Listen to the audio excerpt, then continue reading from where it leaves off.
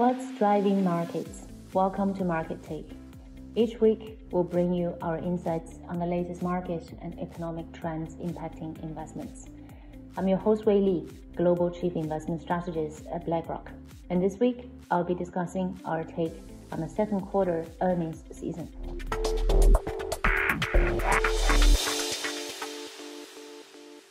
Earnings have been largely stagnating, and this past quarter, they came in better than feared. Specifically, I would note three things from this past earnings season. The first is margins. So heading into this season, I was paying very close attention to if companies are able to keep and maybe even grow their margins. And the answer is a surprising yes. It's surprising in the context of labor shortage and persistent wage pressure. And the reason that companies are able to grow their margin is because even though CPI, Consumer Price Index, has been falling, PPI, Producer Price Index, has been falling even faster. And the difference between CPI and PPI is positively correlated to margins, which is why US companies were able to grow their margins even though inflation is coming down. But looking ahead, it is perhaps unrealistic to expect the gap, the wedge between CPI and PPI to persist because they tend to be positively correlated with a bit of a lag. And furthermore, the headwinds, including the labor shortage, tight supply, and sustained wage growth, they're not going away. So we do expect the elevated margins levels to come under pressure in the coming quarters. The second point I would note from the past earnings season is dispersion and the importance of selectivity that came through very clearly in the earnings picture. So we have sectors that surprise on the upside, sectors that surprise on the downside, in a more dispersed way.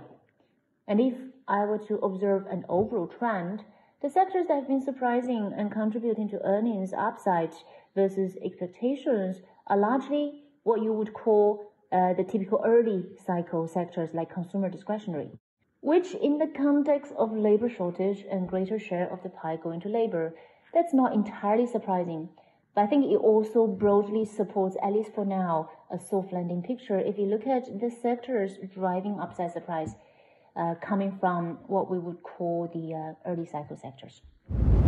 I was also specifically paying close attention to if tech names were able to meet the very high bar as they came into the earnings season. And of course, the bar was set very high because of the good performance that they staged in the first half of the year. And the answer is yes, they were able to beat even the very elevated uh, expectations. I find that, well, surprising, but also not surprising, and I tell you why. I find that surprising because um, we're at a very early stage of a large capex cycle. There's a lot of spending needs, research and development, and yet these companies are able to still deliver positive uh, and strong earnings. Uh, um, about reasonably strong earnings growth, especially versus expectation. But I'm not surprised, I guess, because I do like the AI theme, and I think we're still in the early innings of the AI theme, and more is to be expected. The third point I would note from this past earnings quarter is around regional nuance. So here, Europe versus the US.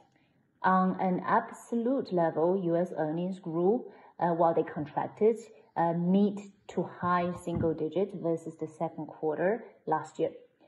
European equity earnings contracted high teens. Uh, so European equities contracted in terms of earnings twice as much as U.S.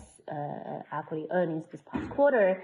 And this explains why European equities were underperforming versus US equities. Partially explains that at least. So all the uh, European exceptionalism at the beginning of the year, thanks to the energy crisis not transpiring, for example, while they are more than given back uh, at this point. For more details, read our weekly market commentary and go to blackrock.com forward uh, slash weekly hyphen commentary. Thank you for tuning in. And if you have enjoyed this episode, subscribe to Market Take wherever you get your podcasts.